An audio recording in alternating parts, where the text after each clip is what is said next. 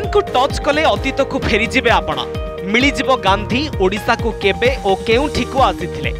ମହାତ୍ମା ଗାନ୍ଧୀଙ୍କ ତିରୋଧାନ ଦିବସ ଅବସରରେ ଓଡ଼ିଶା ରାଜ୍ୟ ସଂଗ୍ରହାଳୟରେ ଓଡ଼ିଶାରେ ମହାତ୍ମା ଗାନ୍ଧୀ ଗ୍ୟାଲେରୀ ଉନ୍ମୋଚନ ହୋଇଛି ଯାହାକୁ ଉଦ୍ଘାଟନ କରିଛନ୍ତି ସ୍କୁଲ ଛାତ୍ରଛାତ୍ରୀମାନେ।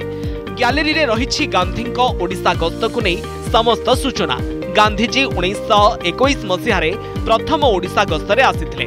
କଟକର କାଠଯୋଡ଼ି ନଦୀ ଶଯ୍ୟାରେ ଆୟୋଜିତ ହୋଇଥିଲା ସାଧାରଣ ସଭା। ଗାନ୍ଧୀଜୀଙ୍କ ସହିତ ଉତ୍କଳମଣି ପଣ୍ଡିତ ଗୋପବନ୍ଧୁ ଦାସ ଓ କସ୍ତୁରବା ଗାନ୍ଧୀ ମଞ୍ଚାସୀନ ଥିଲେ। ପରେ ଉଣେଇଶହ ପଚିଶ ମସିହାରେ ଦ୍ୱିତୀୟ ଗସ୍ତରେ ଆସିଥିଲେ ଉତ୍କଳ ଟ୍ୟାନେରୀ ପରିଦର୍ଶନ କରିବାକୁ। ଉଣେଇଶହ ସତେଇଶ ମସିହାରେ ବୋଲଗଡ଼ ବଙ୍ଗଳାରେ ସାଧାରଣ ଲୋକଙ୍କ ସହ ଆଲୋଚନା କରିଥିଲେ ଗାନ୍ଧୀ। ମହାତ୍ମା ଗାନ୍ଧୀଙ୍କୁ ଆମେ ଶ୍ରଦ୍ଧାଞ୍ଜଳି ଅର୍ପଣ ପୂର୍ବକ ଏହି ଗ୍ୟାଲେରୀକୁ ଲୋକାର୍ପଣ କରିପାରିବୁ। ସେହି ଉଦ୍ଦେଶ୍ୟରେ ଆଜି ଆମର ଏହି ଗ୍ୟାଲେରୀ ଗ୍ୟାଲେରୀଟି ଲୋକାର୍ପଣ ହେଇଛି। ଲୋକାର୍ପଣ ହେଇଛି ପୁଣି କେବଳ ଛାତ୍ରଛାତ୍ରୀମାନେ ଏହାକୁ ଆଜି ଉଦ୍ଘାଟନ କରିଛନ୍ତି ମହାତ୍ମା ଗାନ୍ଧୀ ଆଠ ଥର ଓଡ଼ିଶାକୁ ଆସିଥିଲେ।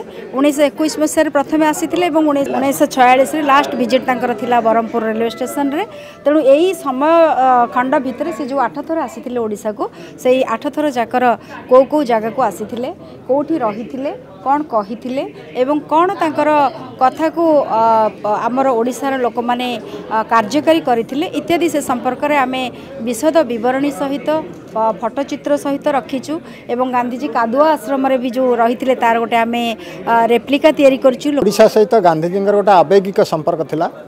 ସେ ଆଠ ଥରରେ ପ୍ରାୟ ଅଣସ୍ତରୀ ଦିନ ଓଡ଼ିଶା ମାଟିରେ ବିଭିନ୍ନ ଅଞ୍ଚଳରେ କଟେଇଛନ୍ତି। ଓଡ଼ିଶାର ଗାଁ ଗହଳରେ ରହିଛନ୍ତି ନଈ କୂଳରେ ଶୋଇଛନ୍ତି କାହା ଛାତ ଉପରେ କେଉଁଠି ଶୋଇଛନ୍ତି କେଉଁଠି କିଆବୁଦା କଡ଼ରେ ବି ଶୋଇଛନ୍ତି ଓଡ଼ିଶାରେ ତାଙ୍କର ବ୍ୟାପକ ପଦଯାତ୍ରା ପ୍ରାୟ ମାସେ ଧରିକିରି ବି କରିଛନ୍ତି ଓଡ଼ିଶାର ଗାଁ ଗହିରରେ ବି ବେରବଇରେ ଆସି ବି ରହିଛନ୍ତି ଇଏ ଯେଉଁ ଓଡ଼ିଶା ସହିତ ଗାନ୍ଧିଜୀଙ୍କର ଯେଉଁ ସମୃଦ୍ଧ ଇତିହାସ ଇଏ ଇତିହାସଟାକୁ ପରବର୍ତ୍ତୀ ପିଢ଼ି ନିକଟରେ ପହଞ୍ଚିବା ପାଇଁ ଇଏ ଗୋଟେ ଛୋଟିଆ ପ୍ରୟାସ ଉଣେଇଶହ ଅଠେଇଶରେ ଗାନ୍ଧୀ ଚତୁର୍ଥ ଥର ପାଇଁ ଓଡ଼ିଶା ଆସିଥିଲେ ସମ୍ବଲପୁରରେ ଏକ ସାଧାରଣ ସଭାରେ ଯୋଗ ଦେଇଥିଲେ ସେପରି ଉଣେଇଶହ ଛୟାଳିଶ ମସିହା ଅଷ୍ଟମ ଗସ୍ତରେ ବ୍ରହ୍ମପୁର ରେଳ ଷ୍ଟେସନ ନିକଟରେ ଏକ ସାଧାରଣ ସଭାରେ ଯୋଗ ଦେଇଥିଲେ। ଏ ସମସ୍ତ ଚିତ୍ର ସ୍ଥାନ ପାଇଛି ଓଡ଼ିଶାରେ ମହାତ୍ମା ଗାନ୍ଧୀ ଗ୍ୟାଲେରୀରେ। ଗ୍ୟାଲେରୀରେ ସବୁଠୁ ମୁଖ୍ୟ ଆକର୍ଷଣ ସାଜିଛି କାଦୁଆ ଆଶ୍ରମର ଅବିକଳ ସାଙ୍ଗକୁ ଅରଟ ଓ ଗାନ୍ଧିଜୀଙ୍କ ପ୍ରତିମୂର୍ତ୍ତି। ଏ ସମସ୍ତ ତଥ୍ୟକୁ ପ୍ରସ୍ତୁତ କରିଛି ଇନ୍ଟ୍ୟାକ୍।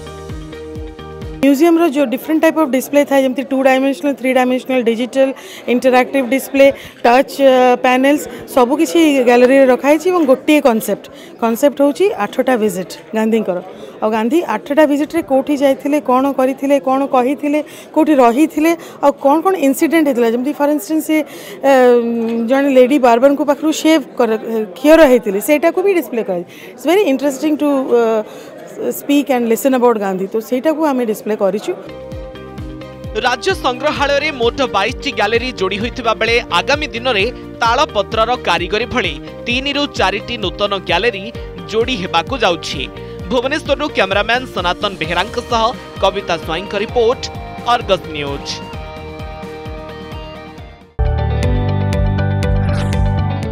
जदि आपण को आम भिडी भल लगा तेब आम चेल्क लाइक सेयार और सब्सक्राइब करने को जमा भी बुलां नहीं।